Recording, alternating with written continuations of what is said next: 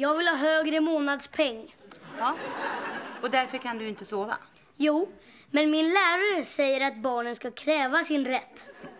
Då tycker jag att du ska säga till din lärare att han kan betala din månadspeng också. Men jag kan inte Max, för då måste jag ju höja Linas också. Vadå?